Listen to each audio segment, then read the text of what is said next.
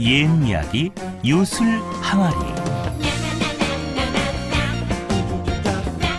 모험과 기적으로 엮은 이야기. 복타러 간 총각.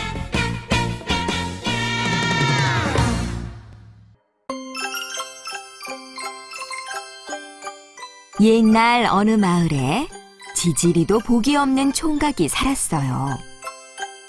어찌나 복이 없는지 모 심으면 가뭄 들고 빨래 널면 비 내리고 몇 감으면 새똥 맞고 아 글쎄 뒤로 넘어져도 코가 깨지지 뭐예요.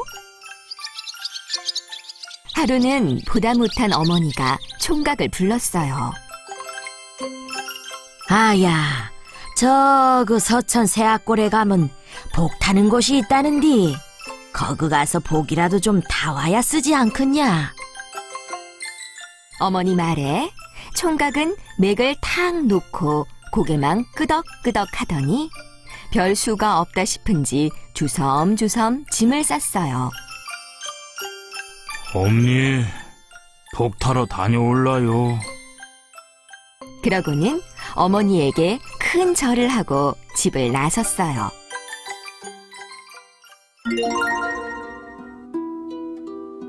서천 새악골이 어디에 있는지 어디로 가야 하는지도 모르는 채 총각은 하염없이 걷기만 했어요. 한참을 가다가 고개를 넘어서는데 아리따운 처녀가 불 꺼진 청사초롱을 걸고 있었어요. 서천 새악골에 복 타러 가려는디 어디로 가야 하오? 높고 험한 저 보물이 열개 너머에 있습니다. 총각은 첩첩이 두른 산을 보고 한숨을 푹 내쉬더니 발걸음을 옮겼어요.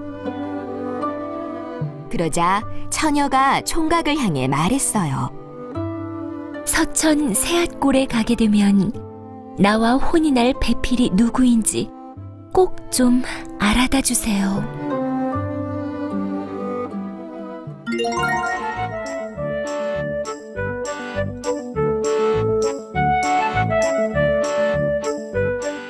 총각은 쉬지 않고 걷고 걸어 산봉우리 세 개를 넘었어요. 잠깐 숨을 고르는데 장기 두는 노인들이 보였어요. 어르신, 서천 새악골에 복 타러 가려는디 어디로 가야 합니까? 저쪽으로 가게다. 이제 세 봉우리 넘었으니 일곱 봉우리 남았네. 그러더니 노인들이 한 소리로 부탁했어요. 서천 새악골에 가게 되면 누가 장기에서 이기는지 좀 알아다 주게.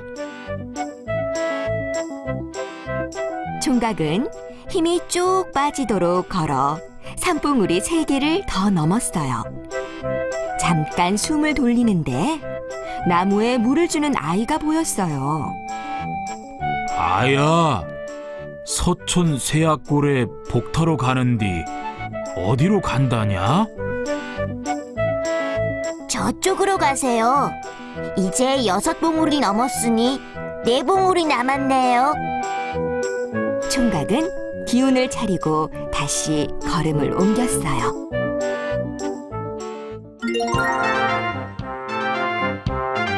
그때 아이가 발을 동동 구르며 소리쳤어요. 참, 참. 서천 새악골에 가게 되면 이 나무에서는 왜 꽃이 피지 않는지 좀 알아다 주세요. 총각은 젖먹던 힘까지 다해 봉우리 세 개를 더 넘었어요.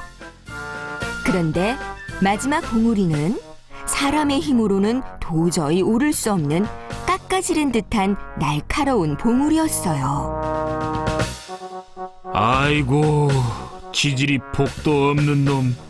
이대로 돌아가야 하는갑네. 총각은 바닥에 털썩 주저앉았어요. 그때 여의주를 두 개 든 이무기가 총각에게 다가왔어요.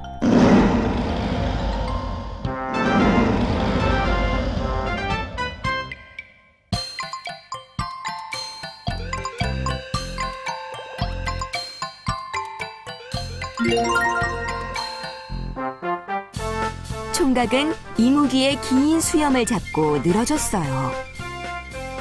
아이고야, 잘 만났소. 서천 새악골에 복타러 가야 하는디 제발 나 좀 데려다 주소.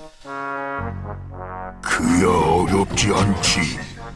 대신 내가 용이 되지 못한 까닭을 알아다 줄 테요. 그럼 서천 새악골까지 데려다 주리다. 총각은 그러겠다고 약속하고 이무기 등에 올라탔어요. 순식간에 이무기는 복숭아꽃 가득한 언덕 위에 총각을 내려놓았어요. 여기가 서천 새악골이요.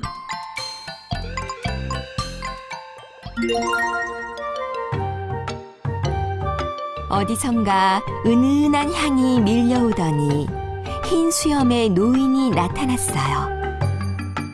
무슨 일로 산 사람이 이곳까지 온 게냐? 총각은 무릎을 꿇고 머리를 조아렸어요. 지지리도 복이 없어. 복타러 왔습지요. 노인은 껄껄 웃더니 폭은 이미 코앞에 와 있으니 그만 가보게나. 하고 돌아섰어요. 총각은 허탈한 마음에 한숨만 푹 내쉬었어요. 총각은 돌아서는 노인의 옷자락을 붙잡았어요. 그람은 새악골 오는 길에 도움을 준 이들에게 줄 답이라도 주소.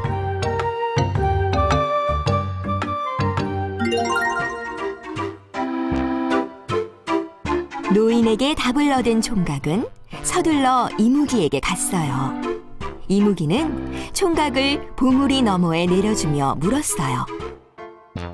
그래, 내가 용이 되지 못한 까닭이 무엇이라 하오? 여의주 하나를 버리면 답이 나올 거라 했소. 총각의 말대로 여의주를 하나 내려놓자 이무기가 용이 되어 하늘로 날아갔어요.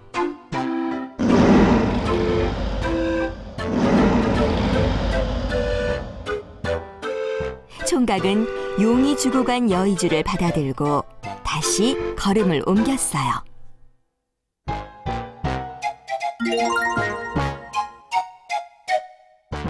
새 봉우리를 넘자 아이가 반기며 달려왔어요.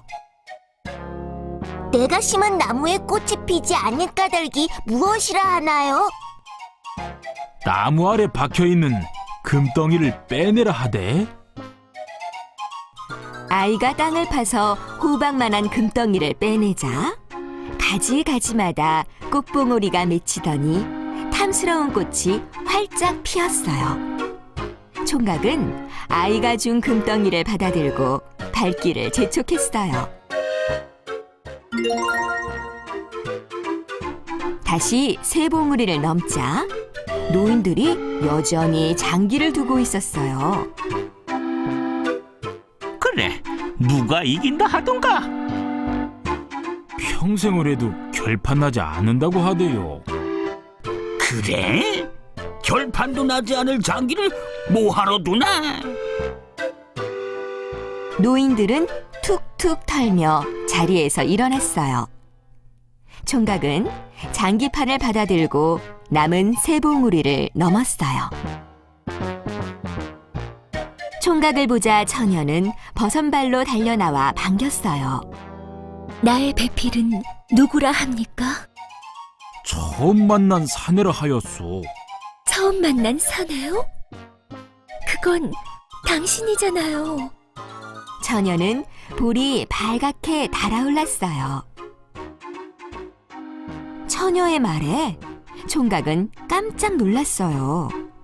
그러고는 그동안의 일들을 떠올리며 처녀의 손을 꼭 잡았어요. 이제 알겠소. 복은 이미 코앞에 와 있다는 말이 무슨 뜻인지. 어서 가서 당신도 소중한 내 복이요.